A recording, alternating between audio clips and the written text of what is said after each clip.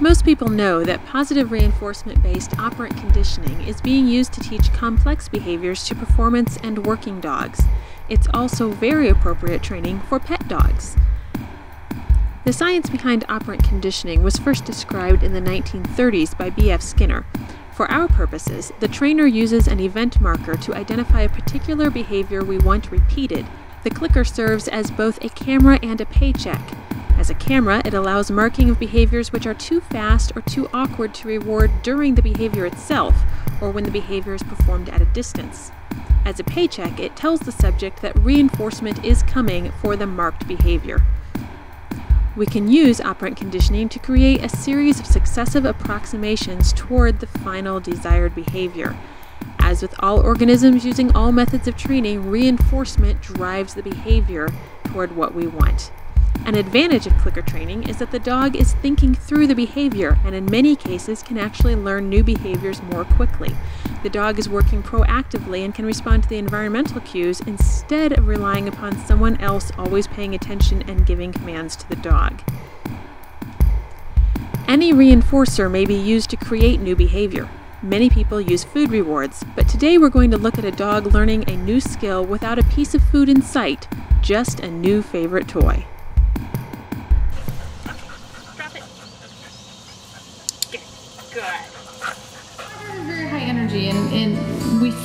We knew what we were doing. He was a border collie. Who knows what he is? He's just a black dog. but something that could direct his energy. And it seemed like the style of training you were doing was was definitely more focused on on the dog. I mean, we want our dog to be a good member of our family, a productive member of our family, not such a distraction when people come over or something like that. So that's what we were looking for. With Murphy, we started by reviewing the game of tug and release. So we knew that we had that reinforcer available to us and he wasn't going to be confused or put off by us taking that reinforcer back to get another repetition. Then access to the toy became contingent upon Murphy being somewhere to my left side. Anywhere to my left was clickable, he had to be on my left in order to get the toy. After that, we began to ask Murphy to move alongside that left hand position in order to earn the toy.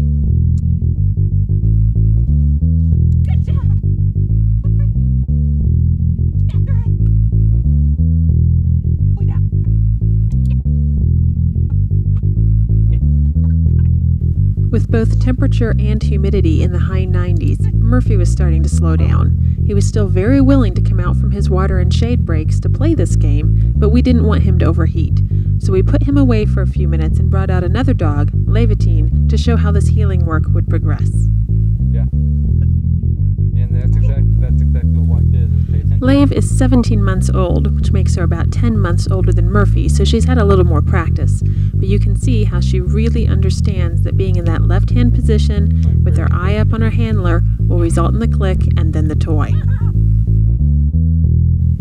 Murphy returned from his break refreshed and ready to play. He obviously remembered that being in the zone at my left hand side would produce the click and then the toy. Even though it began to rain from a cloudless sky as the humidity became too great for the air, Murphy was enjoying his lesson enough to want to continue. This is a dog who will have no trouble continuing to a high quality, reliable heeling behavior. Huh? Did you notice how good he walked back I with know, it was awesome. How great was that? we can already tell a difference after just a few classes. Uh, at home. We work with him quite a bit too, but I think whatever we've learned is really helping us he's a much calmer dog. We had friends over last night, and it was it was, was night and day from three months ago. was very excited when they arrived, but with the techniques we learned here, we could also tell them how to uh, react to his actions. And two, three minutes later, he was just laying on the floor. So two minutes calm. That was great.